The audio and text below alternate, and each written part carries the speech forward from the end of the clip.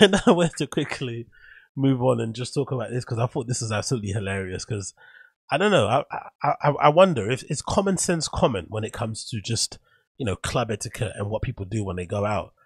I know in some places or some people have this thing where they want to get guest lists to go to certain parties, which is nice. Don't get me wrong. Having a guest list is pretty decent, but arranging it, and I feel like maybe it's because I'm just generally a person that doesn't like asking for help, and I kind of feel a little bit gross and a little bit cringe. Requ- sorry, requesting things like that. But just arranging it and getting it sorted, unless a person is legitimately your friend and somebody you actually know who's going out their way to offer you a guest list and say, "Hey, by the way, I know you like this club. I'm actually playing here. Would you like to come to you know to Boogie and we can have a chat and hang out?" You're like, "Yeah, of course. It'd be good to see you. I haven't seen you in a while, and I want to see you play, and I want to go to this club again." Then they put your name down.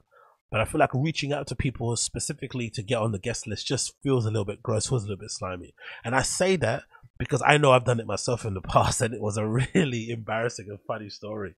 Because I remember ages ago, this might have been like, this might have been like 2012 or 2013, long, long time ago, when I was first DJing. I got a chance to play at some art gallery, like an after party at an art gallery somewhere in Shoreditch and um, that was when I was used to play on a flipping controller. That's how long ago it was, right? So I used to play on a controller, and then I went to go and um, DJ at this art gallery, and I was the only person playing in the beginning. And then I did, and little did I know that flipping Krystal Klear, the you know world famous DJ and producer, was playing after me. He was at the main attraction at this art gallery thing. I forgot, I think it was an art gallery thing or some sort of party in Shoreditch and he was playing after me. So it was me, little old me, and Art, Chris, fucking Chris, Krystal Klear at the party. And you know, at the event, he was really nice. As clearly as you, some of you probably would know him, he's pretty decent dude. Comes across very well on the internet, and you know, we were we were friendly at the event, shared a couple of words, and I think we maybe shared some other words on social media, but that was it. But obviously, Agostinho, in my head of being naive, I assumed those little words were a sign of friendship, were a sign of kinship. Oh, we're brothers now, we're boys. And then I hadn't talked and spoken to this guy in like I don't know, maybe a decade. I swear to God, right? That's why I know he's cringe. So I'm going to tell you this. I'm going to be honest. I remember I haven't spoken to this guy in a decade, so that happened in like 2012 or say 20. I don't know what year. Just let me say that's a long time ago. Then a decade goes by, and I then randomly, I think I was, yeah, that's it. Randomly, I think it was one of my occasions where I went to Berghain. It might have been 2019, 2017 or something, somewhere around that kind of age, some somewhere around that um, year range. And I was like, oh shit, Krystal Klear's playing. I didn't know he was playing. So I was like, oh, let me let me ask him for a guest list because I'd never been in a guest list at Berghain. I was, oh, I wonder what it's like when you go in that other other queue over there and you stand on the side and you get a little head nod and you go through and you get a stamp. You don't have to pay up. Oh, that'd be pretty cool, isn't it? And you get something special. I don't know. Maybe you go for another door. I don't know. Whatever I, I was thinking. So then I go and message him about it. and obviously I get left on seen. And then I remember quite soon after, um, what happened? Either he said something, either he tweeted something that was a bit of an indirect or Instagram post that was indirect. And honestly, I swear on my life, it snapped me out of my kind of um, neediness. It's very strange. I think that happens a lot with people because I feel like sometimes when you're requesting stuff from people and you're and you're kind of trying to suck value from them, all you see is that they're like a value vending machine. You don't actually see the need and the want and the request that you're placing on them. You just see what you can get from them and you're in this kind of delusion that it's all about you. And I guess at that moment also, think about this, right? This is like 2019. I think it's 2019, 2018. Let's say it's 2017, 2019. Krystal Klear's profile has increased considerably, right? Since 2012 and 2019. He's legit like a big time DJ. That's why he's playing in Bloody Berghain. So, you know, maybe he was with me at, at the fucking Shoreditch after parties and whatnot and gallery events. Cool. But then he way, way surpassed where I was at by the time 2019 came around.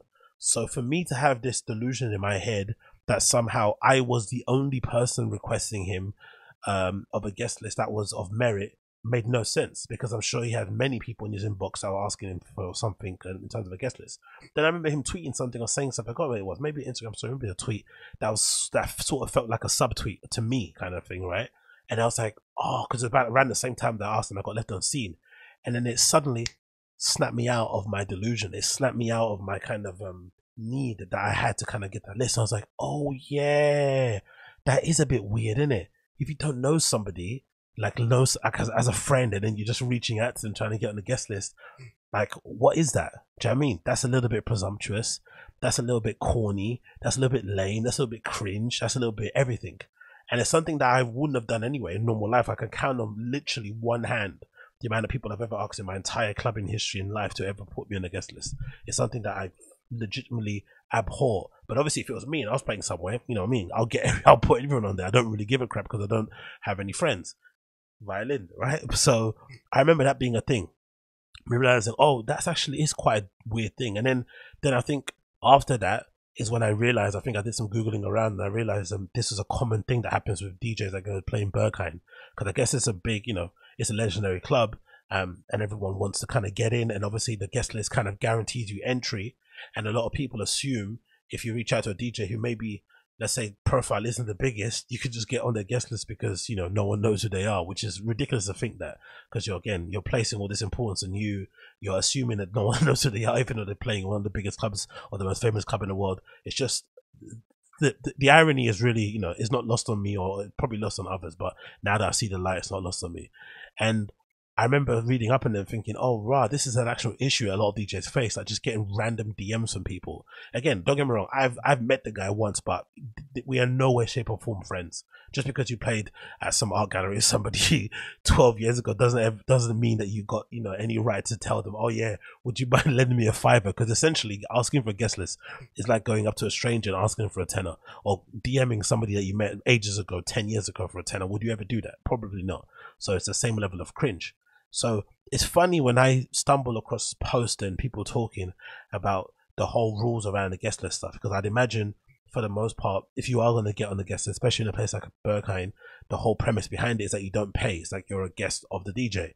But obviously, if you're smart, you just maybe drop the people that are going to do the searching or the entry people like a tip or something. Maybe you give them 10 euros. Maybe you just give them the 20 euros just because the guest list entry, just paid their whatever the entry fee is because the guest list ensures that you get in. So that's just like a little thank you. Thank you so much for getting me in because I don't understand people who go to clubs with just enough money to get drunk and get high. Go to a club if you've got money enough to tip and to buy your drugs and do your you know do your drinking, but don't go there just with like oh, I've only got ten euros. Like you're an absolute psycho. People that do that. I don't know how you do that, how you survive, but good luck to you. But I would imagine if you do that, the worst question. Imagine if there's any. What's the worst question you can think of after you ask somebody for a guest list? Like imagine you go to somebody you don't know you know, you met them 10 years ago and our gallery that doesn't exist anymore in Shoreditch and you ask them, and now it's 10 years later and you ask them for a flipping guest list and they legitimately probably don't even remember who you are. It's been so long. And then, um, what's the worst question you can, you can ask after that? Follow up. I'll tell you, the worst question you can ask is, can my friend come? can we put my friend on the guest list too? I would imagine most people, you know, now I won't say most people. I'd imagine some people would go out their way if you ask them to maybe just put you down as a plus one because they'd assume you're going to come with a friend.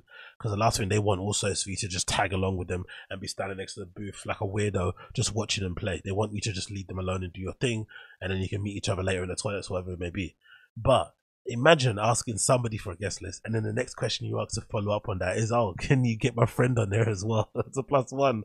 Actually, could you put do a plus two? Um, and then you and then you reply really late to the names, all that sort of stuff. I don't know. I think people people's um neck and people's uh lack of shame is really incredible. Like I can honestly say I didn't I didn't even put it I didn't put two and two together. I honestly didn't know it was gonna be a bad thing when I initially asked. I just assumed, oh yeah, I know this guy. And I was in my delusion of like, yeah, I'm the most important person in the world. And also to be fair to me, I legitimately thought I was the only person that asked.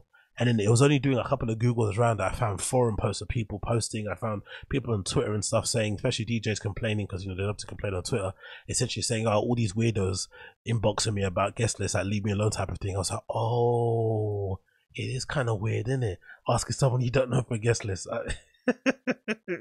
it's legitimately hilarious. But to be fair to the people, myself included, I think the only reason people I, people do that for the most part is just a desperation to get in because you know I've been out there most recently just in June having to wait outside in the queue in the cold for four hours. Don't get me, it wasn't that cold in June. Don't get me wrong, but still, I had to have my parker on, and we were waiting for four hours. And I think that was the kind of replacement um, Club Silvester for the last year's one, and it's not fun, especially when you're like, you know, you're seeing tons of people getting turned away because it's one thing when you go there. I've been there before when it's really rammed and they're only letting one in, one out, and the queue's not moving at all. No one's leaving, no one's getting in. That's kind of like a collective. Okay, cool. It's like when everybody gets fired in a company. You can't take it personally. I mean, it's kind of easier to take if it's just everyone and not just you. So when you're in a queue and no one's, moving, no one's getting in, it's okay. But you're in, you're in a queue and it feels like it's moving like you know every hour, but you're seeing mad people getting turned away and everyone's cutting a queue. It's just horrible. So I think that four out those kind of I think everyone that's gone been to that club or has been to a popular nightclub has had those experiences where you've been waiting outside for ages. It's probably worse when you're at a really crappy cocktail bar that's also a nightclub and you have to wait for like, you know, more than flipping, I don't know, flipping one hour. That's already horrendous, right? You're on some cobbled street with your shiny shoes, hurting your soles of your feet, and you're having to wait outside, and this bouncer's clearly letting all these hot girls in before you, and these guys with money, and you're just standing there. with your 50 euros in your pocket hoping to get in. But it's even worse on your Berghain because the door's there. You will see all the music, the flipping lights through the window of Panorama Bar. You're like, oh my God, please, please, please.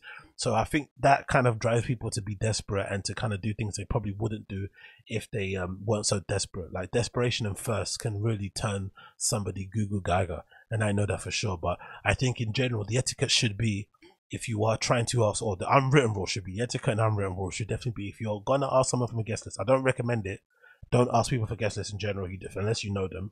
Just go and pay your money and go early enough. Like I've been plenty of times, plenty, plenty of times to the Berghain early. Like legitimately, I queued up like Saturday, 10 p.m so I could get in. Do you know what I mean? Like be the first people in, and the the the flipping club is legitimately empty. It's a really nice feeling to see. You're in the main room and you see it flooding slowly but surely. It's absolutely incredible to see. By one a.m., it's absolutely packed. But just go early enough. You know I mean, you don't. I mean, especially if you're on holiday for for the weekend. What's the need of trying to go there at a cool time?